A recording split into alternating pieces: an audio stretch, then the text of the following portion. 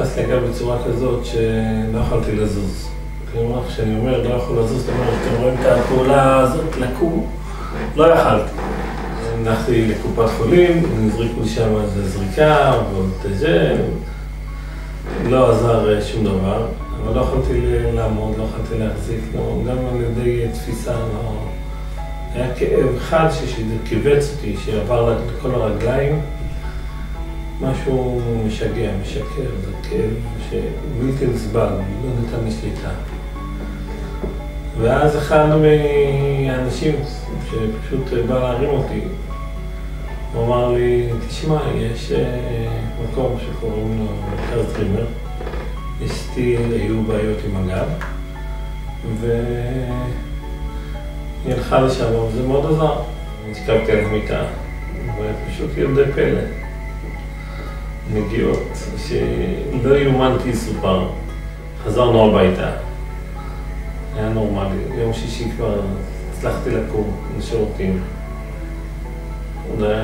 אחר כך ליל שבת, הצלחנו לקום לשולחן שבת, להיות ליד השולחן, איפה כולם להיות עם המשפחה.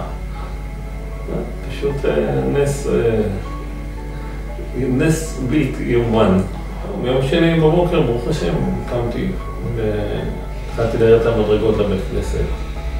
באמצע קיבלתי איזה זץ כזה שרצה להחזיר אותי הביתה, אמרתי, אין לי מה לעשות בבית, בין כה וכה. נלך לאט לאט לבית כנסת. ירדתי, נלחמתי, והיום אנחנו פה ביום שלישי, ואני הולך, הוא מסתובב, עוד לא משחק כדורגל, עוד לא רץ. אבל מתפקד, מרגיש בן אדם, נהגתי לפה לבד. וכל זה הודות לקדוש ברוך הוא, לשליחה בטובים. וברוך השם, הקדוש ברוך הוא בעולם, בבריאה, הרבה כוחות שצריך לדעת להכיר אותם, להשתמש בהם בצורה נכונה.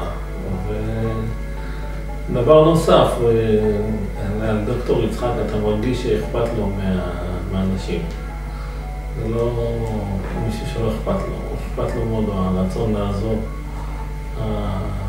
ההשתתפות עם השני, עם הכאב, עם ה... זהו, וממליץ לכל שלב אחד שלא יצטרך, אבל במידה וכן, זה המקום המומלץ.